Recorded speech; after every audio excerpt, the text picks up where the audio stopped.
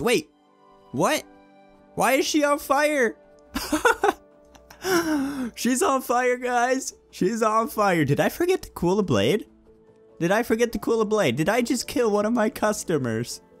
Oh man, let's try that again. Hello guys, how's it going? Spy here with another My Little Blacksmith Shop episode. Now last episode you guys seen that I showed off the new update with the new shop and the walking golem. And this episode, what I'm going to be doing is I'm going to be doing a little more blacksmithing to see how the game progressed since, because we got this little radial menu now, so this should be easier for us to make weapons. Also, there's a few other things I want to check out this update. I'm not sure if some of them are going to be possible, but the first thing I'm going to check out is something pretty cool in the sandbox mode. So here we go. Okay, so here we are in the sandbox area.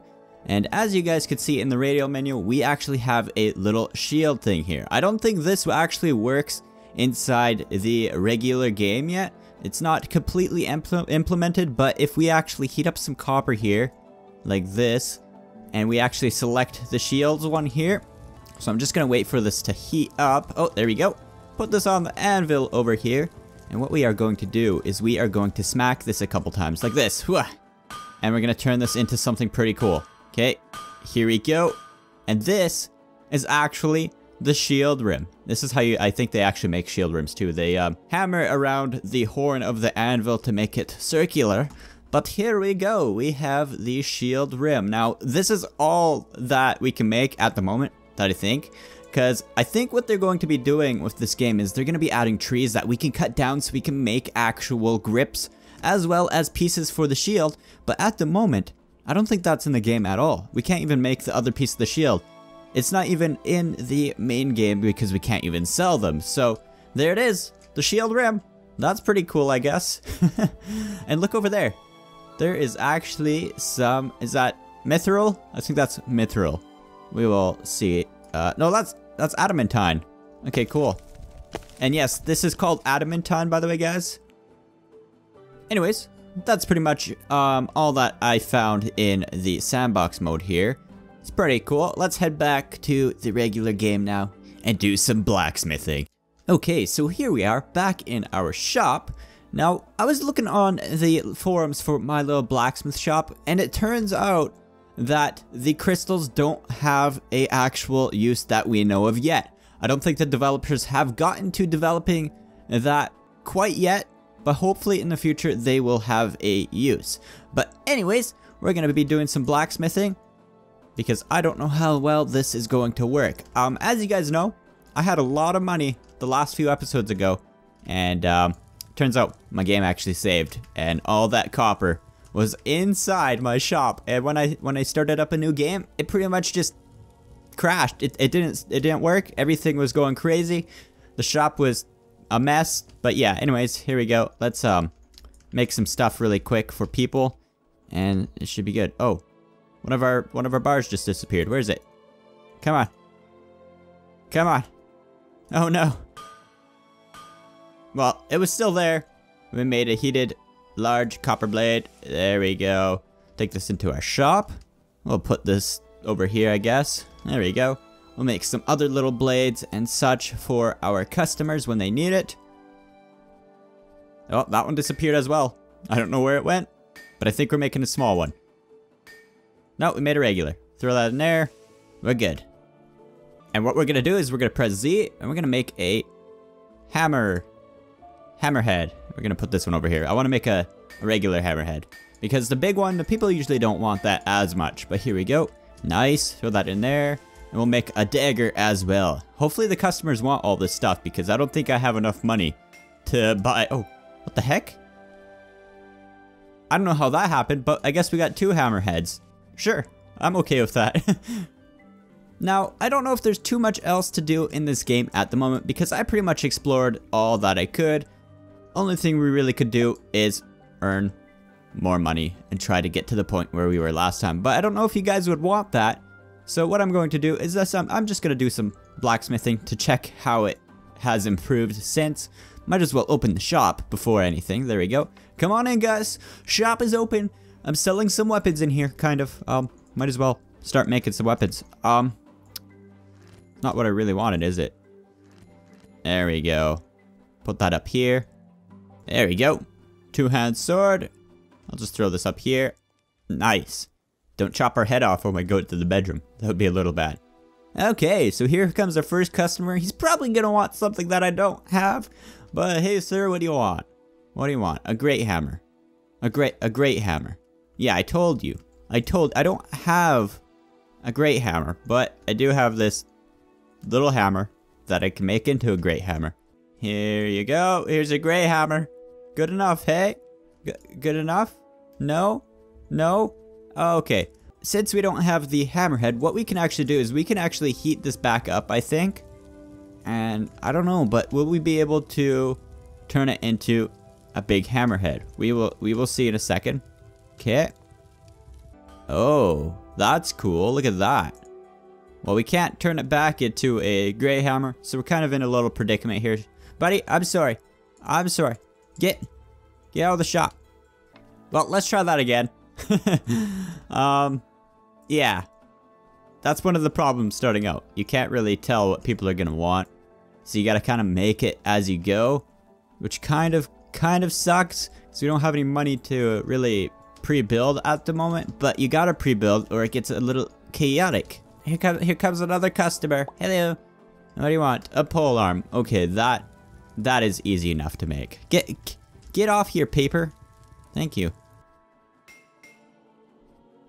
So this pole arm cost ten dollars plus I think ten dollars for the grip. So we'll we'll see how much money we get out of this. We have no experience or levels at all. There you go. 31 bucks. So we got like $11 from that, which is pretty cool, $11. But like I was saying last episode, I think they have to get off the map before another one comes. Wait, what? Why is she on fire? She's on fire, guys. She's on fire. Did I forget to cool a blade? Did I forget to cool a blade? Did I just kill one of my customers? Oh man, let's try that again. We got all the money from that. Maybe they don't come back? Huh. I wonder what the consequences will be in the future for that. If you don't cool the blade for your customers, will they come back and want a refund or another sword because it broke on them in battle? Hey, how's it going? What do you want? Um, a one-hand sword. Okay, well we're gonna test this again. So what I'm going to do is I am going to not quench the blade. There we go. Let's make this into something nice for him. Just so he doesn't come back to murder us. There we go. That looks nice and we will put a one hand guard on it and a one hand grip. There you go, sir. Have this really hot and flaming sword. Oh man, he's glowing. Okay. Um. Let's see if he catches on fire like that last person. Oh, he's on fire again! so yes, it's from not quenching the blade. Your your customers catch fire. So will that mean customers will be able to die in the future? Maybe. Maybe you'll be able to murder them. Murder them? Huh. I got to test this out, guys. Can we catch people on fire ourselves? That is a good question. That is a really good question. Hello, sir. What can I uh, get you? A great sword. Okay, so let's um make him a great sword. But let's try catching him on fire before we give it to him. We might have to sneak around the back. Maybe. I don't know.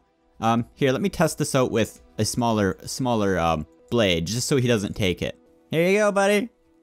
Test this out. Okay, let's see if he catches fire really quick.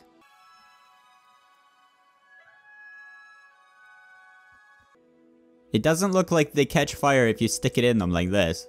Don't worry, buddy. I'm just, I'm just testing out some stuff for science. Yeah. Stabbing a blade through your chest. Um, well then.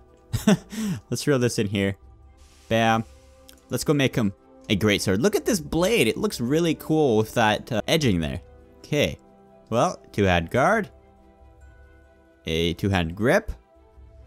There's your amazing look. Oh, wait, whoa, whoa, whoa, whoa, whatever. It doesn't matter. I was going to quench it, but I don't think it matters at all. Thank you. Okay, let's see. Let's see him catch on fire now. We're just gonna follow him. Hey, buddy. How do you like your sword? It's really cool and flaming. There's a golem back there. Okay. He's gonna catch on fire. Is he is he catching on fire? Maybe if we get far away, it'll catch fire. Yeah, that's what it is. I see. So we see a fire effect if we're far away. So I don't think they really are catching a fire. It's just what it looks like when you get far away, which is pretty cool. Well, I got to restock my shop. No, no, stay out. Stay out. It's not open. You can't do that. You can't just open my door and hold it open. Oh wow, look at that guys. We already have 279 coins. That's awesome. So, what we could do is we could already buy 10. Look at that. 10. Sweet. And we already have a little extra to buy some grips and stuff.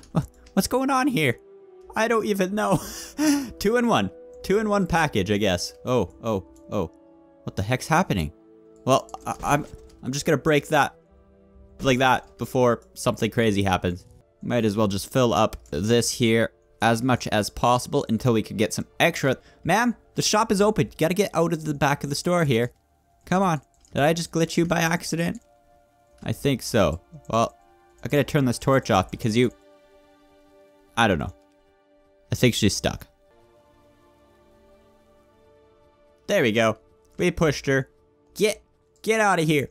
You're not allowed in my shop. Get, go. So yeah, look in the radial menu here. We can't even select the shield, so we can't make them in the shop mode of the game at the moment. I really can't wait until we can buy that house up there. I wonder if that's going to turn into our new forge. Maybe we will continuously buy bigger and bigger shops. Like, I want a smaller shop like this at first. Something very small and basic. This is pretty basic itself. And I wonder if we will be able to hire workers in the future to actually like uh, go out and mine and chop wood for us. That would be pretty cool. I think that would be amazing. I can't wait to see what this game is like in the future. Uh, ma'am, I guess I gotta push you towards my door because you're not, you're not coming in at all. There we go. Finally pushed her inside. She wants a great hammer, guys. Okay, I'll get you a great hammer. Don't worry about it. Okay, we gotta take these off. We gotta make her a great hammer. Oh man, glitches like that, guys, are a little funny. Oh, I just put an ingot underneath another ingot. That's what happened. Well then, that's pretty interesting. There we go. Let's quench this and see if there's a difference in pricing. Um, gotta get our two-hand grip.